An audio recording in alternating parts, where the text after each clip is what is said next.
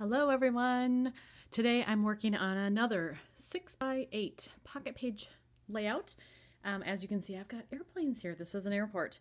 This is part of my New York City album. So this is right when I landed at JFK, kind of looked out the window, came down the jetway, and then as I was walking through the airport just looking at all the different planes that were parked out there. So I do want to include these photos. Now, as with pocket pages, Sometimes it's a challenge because I've already done the previous page, so I have to use this style of layout. So I have to make it work. So I knew I had this photo, which is fine, it's a single. I knew I wanted a card of some kind, so I have that. But then this was the only other photo that I liked. So this was actually a 4 by 6 I just cut it down the middle in order to fit it into those pockets. I'm hoping that this one is going to be a pretty easy layout to put together because there really isn't a huge amount going on here and I don't need to do a lot to this. I'm not really going to journal on this page, so that helps. Um, with this card here, I did have this chipboard plane available. And if you've watched my other videos, I did consider using this one the other day in a different layout, but it just didn't work. It was really too big for what I had going on on that particular layout. But I think it will work nicely here to just put it right on top of that card since there are already um, kind of, you know, the planes and the dotted lines and stuff in the background. I thought, well, that'll work. We're still talking about planes. So my plan is to put it there. Not sure what I'm going to put down here yet, um, if anything, if I'm going to journal or just use a sticker or uh, I don't know. We'll see. I fly by the seat of my pants sometimes when it comes to this stuff. Um, over here, I think I need something in this dead space, but I'm not sure what. So I'm going to have to figure out something for there. And then I have a similar problem up here. This side of the photo, the left side, is is pretty good. It's balanced well. We've got something up here, something down here. Um, and so I think, you know, it leads your eye and that's okay. But on this side, I feel like there's more dead space up here because, you know, once you look at this bottom half, there really isn't much going on in the top half um, on this right side. So I think I may have to do something up there, either stamp, put a label, something. Uh, so those are my challenges for today, the things I'm going to work on. But since I know that I have this and I know what I want to do with it, I'm going to start with that and see where it takes me. I have the plain chipboard piece on there and I think I'm going to do a little bit of just highlighting right here to differentiate that because if I do end up stamping on here, 99% chance it's going to be black ink. So I want to kind of establish that now and bring that in. So I'm just going to take my pen, which is an 01, so it's quite fine, and I'm just going to ink along the edge here. Now there is, I don't know if the camera can pick that up totally, there is kind of a slash border here in blue already, but I'm going to add in the black just because I think it'll be good as an extra element. There we go. And then I'm gonna go backwards as well. And I don't make these perfect by any means, it's however they turn out. So there's a little overlap there. And you know what? That is totally fine. So that's how it looks close up. All right, so yay, one thing done. Now three more pockets to deal with here. When I was actually in New York, I bought these there. Um, I stayed in Chelsea, and there was a store near where I was staying, and it's called Paper Presentation. It was awesome. I could have spent way more time in dinner than I did. I could have spent hours and hours, but I was kind of on a schedule, so you know I behaved myself.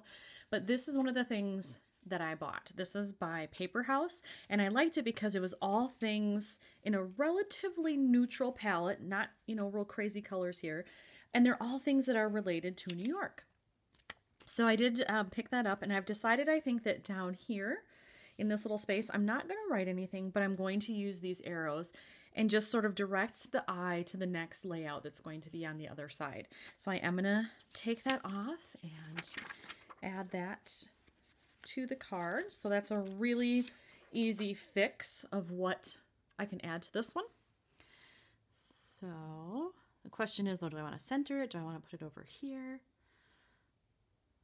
Hmm. I kind of like the idea of having it offset, but I think if I end up doing something over on this photo, it's going to be in the right hand corner. So I think maybe I will just center it to match pretty much with the plane. All right. So there, I can kind of take that one out of the mix. Don't have to worry about it. For this one, I'm considering using some stickers, letter stickers, to just put in JFK right here. Um, does anybody have these stickers in their stash? They're from Stickopotamus. I can't even tell you how long I've had these. Is there a date on here? Oh, I don't see one. But they're old. This used to be all the rage, this style. And I have a problem. I tend to hoard letter stickers. If there's anything left on that sheet that can possibly make a word, I tend to want to hang on to it. So I checked here. I do have enough to do JFK. Um, so I think I'm going to do that and just put it right over here in this dead space. If I don't like the way it looks, because this, you know, black is very bold. If I don't like the way it looks, I can always peel those off again.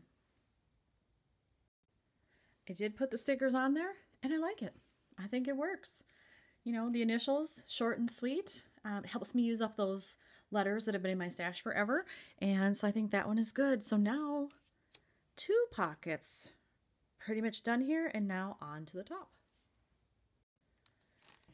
As some of you know, if you've watched previous videos, I have this bag of items. These things are phrases, little um, digital file elements that I've printed out, and they're all travel travel related. Yes, I can speak. Um, and I keep them in this little bag, and I dip in there when I need something. And so as I was looking through there, I thought I was going to pick out one of these phrases that's more like a label, just kind of straight edged, but I changed my mind. Because notice the blue in this photo is quite different from the blue in this photo. So darker blue or more true blue, and this is more of a like a sky blue. So what I found was this. This is a digital element that comes from one of the sets um, that is sold by In a Creative Bubble. Can't remember which one. I think it actually might even be called Jet Setter, the name of the files um, or the kit that you can buy. So you just buy it, you print it out, you cut it. So I punched this one with my circle punch and I was thinking I could do something like this to fill up that space or off center. Then I kind of cut off the, the tail of the plane here, but not a huge deal. But um, I thought maybe I could do that and cut off the top. And then I bring in a little bit more of that darker blue and there's a nicer mix. So I'm going to try it and we'll see how it looks. So this is how it looks once it's attached. I did cut off the top. I decided to go slightly off center. Not totally, but slightly, because I didn't want to cut off the tail of the plane here.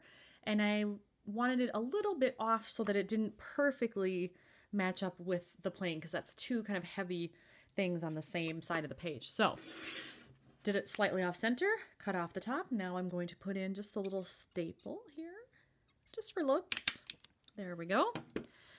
And now that is in there. Now, as I look at this, I would say this side is actually done. Normally I wouldn't do anything more with this. I'm questioning whether or not I should stamp a really short phrase or maybe find a little word sticker or something that I can put below the jet setter part. Um, nothing that I have in my stash is coming to mind at the moment, but that doesn't mean that I won't find something later. so I think for now I'm going to leave it that way. Um, but by the time this is done and I do a flip through of the album, maybe you'll see that I added something after the fact. But for now, let's put all these in the pockets so we can see what it really looks like as a finished layout.